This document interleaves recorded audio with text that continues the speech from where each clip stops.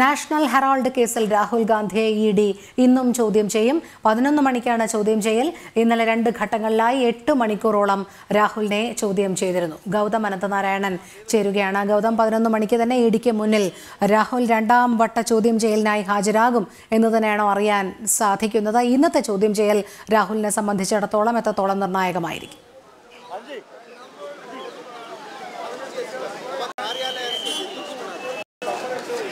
രോഹിണി ഇന്നലെ ഏകദേശം പത്തു മണിക്കൂറോളം കോൺഗ്രസ് നേതാവ് രാഹുൽ ഗാന്ധിയെ എൻഫോഴ്സ്മെന്റ് ഡയറക്ടറേറ്റ് വിശദമായി തന്നെ ചോദ്യം ചെയ്തിരുന്നു. അതിനുശേഷം ഇന്ന് ഇപ്പോൾ പതിനൊന്ന് മണിക്ക് വീണ്ടും ചോദ്യം ചെയ്യാനായി ആ, രാഹുലിനെ ഹാജരാകേണ്ടതുണ്ട്. ഇതിനെ തുടർന്ന് വീണ്ടും ഡൽഹിയിൽ നേരിയ സംഘർഷാവസ്ഥ രൂപപ്പെടുന്നു എന്നുള്ളതാണ്. ഇന്നലെ നമുക്കറിയാം കോൺഗ്രസിന്റെ പ്രധാനപ്പെട്ട നേതാക്കളും അതോടൊപ്പം തന്നെ എം പിമാരുമെല്ലാം ഡൽഹിയിൽ കൊണ്ട് വലിയ തോതിലുള്ള പ്രതിഷേധം അല്ലെങ്കിൽ രാഹുൽ ഗാന്ധിയെ ഇ ഡി അനാവശ്യമായി വിളിച്ചു വരുത്തി ചോദ്യം ചെയ്തു എന്ന രീതിയിൽ ഒരു പ്ര- പ്രതിനിധി സൃഷ്ടിക്കുവാനായി വലിയ ശ്രമം കോൺഗ്രസ് നേതാക്കളുടെ ഭാഗത്ത് നിന്നുണ്ടാവുകയും അതിനെ തുടർന്ന് ഡൽഹി പോലീസ് എല്ലാം അറസ്റ്റ് ചെയ്ത് നീക്കം ചെയ്തു. ഇന്നും ഇപ്പോൾ ഞാൻ നിൽക്കുന്നത് എ ഐ സി സി ആസ്ഥാനത്തേക്കുള്ള പ്രധാനപ്പെട്ട റോഡിന് മുന്നിലാണ്. അല്പസമയം മുമ്പ് ഇവിടെ നിന്നും സുരേഷ് എം പി ഉൾപ്പെടെയുള്ളവരെ ഡൽഹി പോലീസ് അറസ്റ്റ് ചെയ്തു. കാരണം ഈ പ്രകടനം നടത്തുവാനോ പ്രതിഷേധം നടത്തുവാനോ ഒന്നും ഈ നഗരത്തിൽ നിലവിൽ പോലീസ് അനുമതി നൽകിയിട്ടില്ല. പക്ഷേ കോൺഗ്രസിന്റെ പല എം പിമാരും ഭാഗത്തായി ധാരണയിരിക്കുകയും റോഡിൽ ഗതാഗത കുരുക്ക് സൃഷ്ടിക്കുവാനും ശ്രമിക്കുന്നു.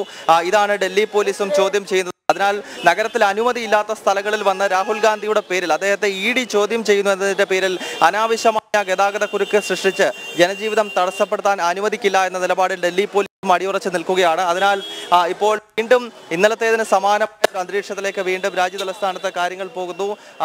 വലിയ സംവിധാനം എ ഐ സി സി ആസ്ഥാനത്തുള്ള പ്രധാന റോഡിന്റെ ഈ അക്ബർ റോഡ് തുടങ്ങുന്ന സ്ഥലത്താണ് ഞാൻ നിൽക്കുന്നത്. ഇവിടെ തന്നെ വലിയ സുരക്ഷാ സന്നാഹം ഒരുക്കിയിട്ടുണ്ട്. അല്പസമയം മുമ്പ് കൊടിക്കുന്നിൽ ഉൾപ്പെടെയുള്ളവർ ഇവിടെ എത്തി. ഇവിടെ നിന്ന് അകത്തേക്ക് ഒരു പ്രതിഷേധ മാർച്ചായി പോകുവാൻ ശ്രമിച്ചിരുന്നു. ഈ സമയമാണ് ഡൽഹി പോലീസ് ഇവരെ അറസ്റ്റ് ചെയ്ത് നീക്കിയത്. എന്തായാലും നമുക്ക് ലഭ്യമാകുന്ന വിവരം എന്നത് രാഹുലിനും അതോടൊപ്പം തന്നെ സോണിയയ്ക്കും എല്ലാം കുരുക്ക് മുറുകുന്നു എന്നുള്ളതാണ്. ഇന്നലെ പത്ത് മണിക്കൂർ ചോദ്യം ചെയ്തതിലൂടെ നിർണായകമായ പല തെളിവുകളും നാഷണൽ ഹെറാൾഡ് കേസിൽ ഇ ഡിക്ക് ലഭിച്ചിരിക്കുകയാണ്. എൻഫോഴ്സ്മെന്റ് ഡയറക്ടറേറ്റിന്റെ നാല് ഉദ്യോഗസ്ഥർ രണ്ട് ഘട്ടങ്ങളായി രാഹുലിനെ ചോദ്യം ചെയ്തു. ആദ്യം രാവിലെ പതിനൊന്ന് മണി മുതൽ ഒരു മണി വരെയും പിന്നീട് ഉച്ചഭക്ഷണത്തിന് ശേഷം ഉച്ചതിരിഞ്ഞ് രണ്ടര മുതൽ പതിനൊന്ന് മണി വരെയുമാണ് എൻഫോഴ്സ്മെന്റ് ഡയറക്ടറേറ്റ് ചോദ്യം ചെയ്തത്. ഈ ചോദ്യം ചെയ്യലിൽ അനധികൃതമായ സാമ്പത്തിക ആ, യങ് ഇന്ത്യ എന്ന കമ്പനിയും നാഷണൽ ഹെറാൾഡിന്റെ സ്വത്തുവകകൾ പിടിച്ചെടുത്ത അല്ലെങ്കിൽ കൈക്കലാക്കിയത് എന്ന രീതിയിലുള്ള ചില നിർണായക തെളിവുകളാണ് എൻഫോഴ്സ്മെന്റ് ഡയറക്ടറേറ്റിന് ലഭിച്ചിട്ടുള്ളത്. ഈ പശ്ചാത്തലത്തിലാണ് ഇന്നിപ്പോൾ വീണ്ടും പതിനൊന്ന് മണിക്ക് വീണ്ടും ഹാജരാകാൻ രാഹുലിനോട് ആവശ്യപ്പെട്ടിട്ടുള്ളത്. രോഹിണി. അതെ അതോടൊപ്പം ഗൗതം നമുക്കറിയാം ഇന്നലെ രാഹുൽ സ്വന്തം കാറിൽ ചോദ്യം ചെയ്യാൻ എത്തിയിരുന്നു. ചോദ്യം ചെയ്യലിന് ഹാജരാകാനായി എത്തിയിരുന്നു. കോൺഗ്രസിന്റെ നേതാക്കളും അനുഗമിക്കുന്ന ഒരു സ്ഥിതിവിശേഷം ഉണ്ടായിരുന്നു. പിന്നീടാണ് സംഘർഷത്തിലേക്കൊക്കെ കാര്യങ്ങൾ നീങ്ങിയത്. ഇന്നും സമാനമായ ഒരു അന്തരീക്ഷം തന്നെയാണോ അവിടെ നിൽക്കുന്നത്? കോൺഗ്രസിന്റെ നേതാക്കൾ ഉന്നത നേതാക്കൾ അടക്കം അവിടെ എത്താനും മറ്റൊരു സംഘർഷ സാധ്യത ഉടലെടുക്കാനുമുള്ള ഒരു നീക്കം കാണുന്നുണ്ടോ.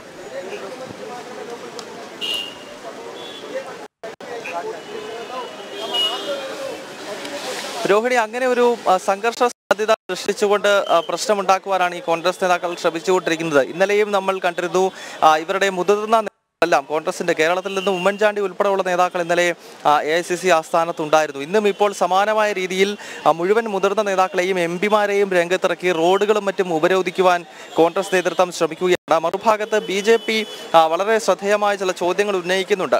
രാജ്യത്ത് പല രാഷ്ട്രീയ നേതാക്കന്മാരും പ്രധാനപ്പെട്ട പദവികളിൽ ഇരുന്നവരും മുൻപും എൻഫോഴ്സ്മെന്റ് ഡയറക്ടറേറ്റിന്റെ അതോടൊപ്പം തന്നെ മറ്റ് വിവിധ ഏജൻസികൾക്ക് മുന്നിൽ അന്വേഷണ ഏജൻസികൾക്ക് മുന്നിൽ ഹാജരായിട്ടുണ്ട്. അന്വേഷണ ഏജൻസികൾ ചോദ്യം ചെയ്യാൻ വിളിക്കുന്നത് ഒരു അസാധാരണ സംഭവമൊന്നുമല്ല. രാഷ്ട്രീയ നേതാക്കന്മാരെ ഇത്തരം കേന്ദ്ര ഏജൻസികൾ മുൻപും ചോദ്യം ചെയ്യാൻ വിളിച്ചിട്ടുണ്ട്. അവർ ചോദ്യം ചെയ്യലിന് വിധേയരാക്കപ്പെട്ടിട്ടുണ്ട്. പിന്നീട് കോടതിയാണ് ഇവർ തെറ്റുകാരാണോ അല്ലെങ്കിൽ കുറ്റം ചെയ്തിട്ടുണ്ടോ ഇല്ലയോ എന്നൊക്കെയുള്ള അന്തിമ നിഗമനത്തിലേക്ക് എത്തേണ്ടത്. പക്ഷേ ഇവിടെ ചോദ്യം ചെയ്യലിന്റെ പ്രാ ഘട്ടത്തിൽ തന്നെ നാഷണൽ ഹെറാൾഡുമായി ബന്ധപ്പെട്ട് ആദ്യമായി ചോദ്യം ചെയ്യാൻ വിളിക്കുമ്പോൾ തന്നെ എന്തിനാണ് ഇത്തരം ഒരു ബിൽഡപ്പ് രാജ്യതലസ്ഥാനത്ത് സൃഷ്ടിക്കുന്നത് ചോദ്യമാണ് ബി ജെ പി ഉന്നയിക്കുന്നത്. ഇന്നലെ സ്മൃതി ഇറാനിയെ തന്നെ രംഗത്തിറക്കി. രാഹുൽ ഗാന്ധിയുടെ പേടി സ്വപ്നമായിട്ടുള്ള സ്മൃതി ഇറാനിയെ രംഗത്തിറക്കിയാണ് ബി ജെ പി രാഷ്ട്രീയമായി ഇതിനെ നേരിട്ടത്. ഇന്നലെ ബി ജെ പി ആസ്ഥാനത്ത് വാർത്താ സമ്മേളനം നടത്തുമ്പോൾ സ്മൃതി ഇറാനി രൂക്ഷ വിമർശനം രാഹുലിനെതിരെ നടത്തിയിരുന്നു. ഏതായാലും ഇന്ന് ഇപ്പോൾ വീണ്ടും എൻഫോഴ്സ്മെന്റ് ഡയറക്ടറേറ്റ് ചോദ്യം ചെയ്യുന്നു. ഇതിലേറ്റവും ശ്രദ്ധേയം രാഹുൽ മാത്രമല്ല ഇതിൽ കോൺഗ്രസിന്റെ ഇപ്പോഴത്തെ അധ്യക്ഷ സ്ഥാനം വഹിക്കുന്ന സോണിയാഗാന്ധിക്കും ഉരുക്ക് മുറുകുന്നുണ്ട്. ഇന്നലെ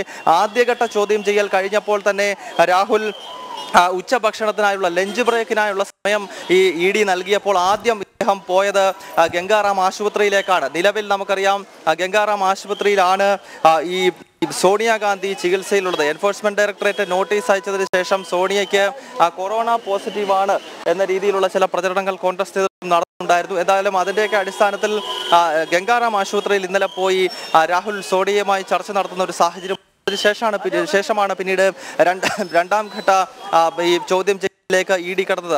ഇതിൽ വളരെ ശ്രദ്ധേയമെന്നത് ഇത് കേവലം രാഹുലിന് മാത്രമല്ല കുരുക്ക് മുറുകുന്നത് രാഹുലുമായി ബന്ധപ്പെട്ട തെളിവുകൾ എൻഫോഴ്സ്മെന്റ് ഡയറക്ടറേറ്റിന് ലഭിക്കുമ്പോൾ ആ കുരുക്ക് സ്വാഭാവികമായും കോൺഗ്രസിന്റെ അധ്യക്ഷ സോണിയാഗാന്ധിയിലേക്ക് തന്നെയാണ് കാര്യങ്ങൾ എത്തുന്നത് എന്ന കാര്യത്തിൽ സംശയമില്ല. സോണിയ ചികിത്സ കഴിഞ്ഞ് ഇറങ്ങിയാൽ സോണിയാഗാന്ധിയും എൻഫോഴ്സ്മെന്റ് ഡയറക്ടറേറ്റിന് മുന്നിൽ ഹാജരാകേണ്ടി വരും. അതിനാൽ കോൺഗ്രസ് നേതൃത്വത്തെ സംബന്ധിച്ചിടത്തോളം വലിയ പ്രതിസന്ധിയിലേക്ക് പ്രത്യേകിച്ച് രാഷ്ട്രപതി തെരഞ്ഞെടുപ്പും ഗുജറാത്തും ഹരി ഹിമാചൽ പ്രദേശും ഉൾപ്പെടെയുള്ള വിവിധ നിയമസഭാ തെരഞ്ഞെടുപ്പുകളും ആസ്ഥാനമായി നിൽക്കെ കോൺഗ്രസ് ദേശീയ നേതൃത്വത്തിന് കുരുക്ക് മുറുക്കുന്നതാണ് ഈ നാഷണൽ ഹെറാൾഡ് കേസ് എന്ന കാര്യത്തിൽ സംശയമില്ല. രോഹിത് ശരി ഗൗതം. നാഷണൽ ഹെറാൾഡ് കേസിൽ രാഹുൽ ഗാന്ധിയെ ഇ ഡി ഇന്നും ചോദ്യം ചെയ്യും പതിനൊന്ന് മണിക്കാണ് ചോദ്യം ചെയ്താൽ ഗൗതം അനന്തനാരായണനാണ് വിവരങ്ങൾ നൽകിയത്.